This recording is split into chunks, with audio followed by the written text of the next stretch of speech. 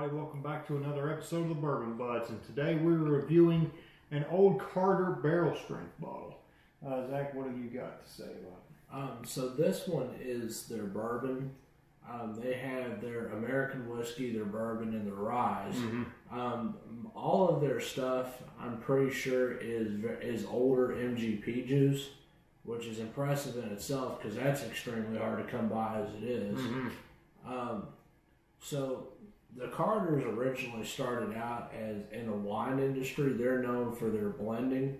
So they used to blend wines, I'm pretty sure, and then eventually they got into the whiskey business, and they've done a fantastic job at that. Um, I only own two bottles myself, but any old Carter I've ever tried has been fantastic. Mm.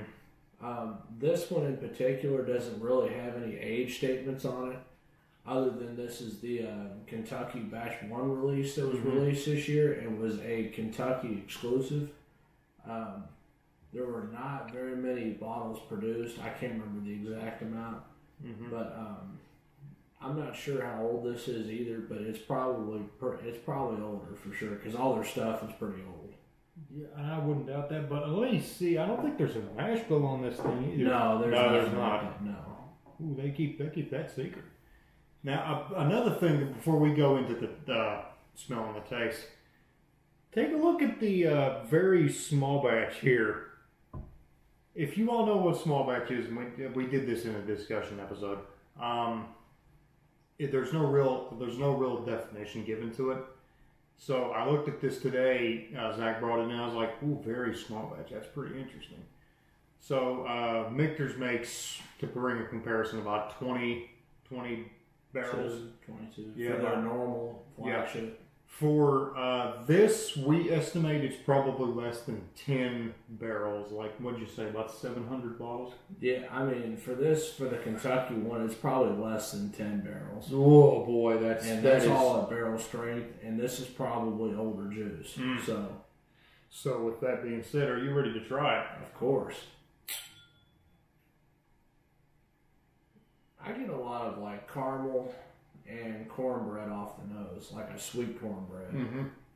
You can get some of that corn, uh, excuse me, the uh, caramel, but it's an also a very corn, uh, cor- uh, corny whiskey, and I, I really like that because there's not really a whole lot of bourbons I've seen that have an overt corn No. smell to them.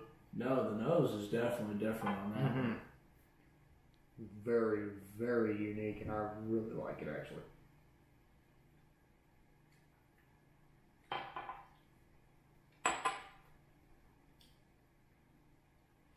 I love the finish on that.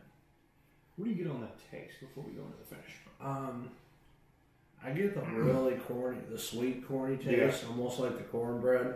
Um, when it first hits the palate, it's like a sweet cornbread and a little bit of caramel, almost like a caramel corn, Mm-hmm. and then it just goes straight into the finish, and the finish lingers. Mm-hmm.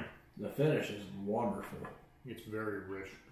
Uh, as much as I like the taste, the finish might be my favorite part Mhm. because it stays there, and you get the full effect.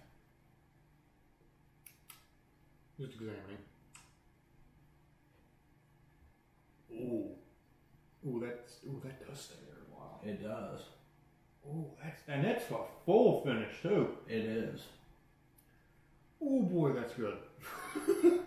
um, so value. What does this go for on retail?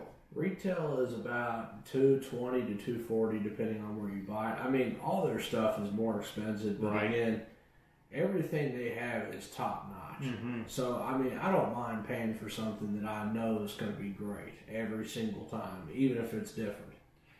And, and, and uh, for being that price, I was expecting it to be a lot more than just two twenty to two forty or two fifty. This is for something like this. That is pretty pretty darn affordable, if you ask me. Um, like I said, on the taste, it's a very corny whiskey, but you do get a little bit of that caramel, and that gives it a bit more of a pop to it. Um, and the finish, like Zach said, it lingers. It lingers for a while. That's one of the best finishes of any bottles I have Mm-hmm. in my collection. So, it's oh, it, it, that, this is another one that's won uh, my heart over. Um, so, uh, Zach, do you have any final thoughts on this? All right. Well, this has been another episode of the Bourbon Buds. We hope you've enjoyed. Uh, be sure to like and subscribe. Click that bell icon so you know when we upload. Comment down below what your experiences with Old Carter are. Uh, let us know if you've ever visited or if you've ever had any of their other products and what you thought of them. And be sure to follow our Instagram link in the description below. Thank you all for watching.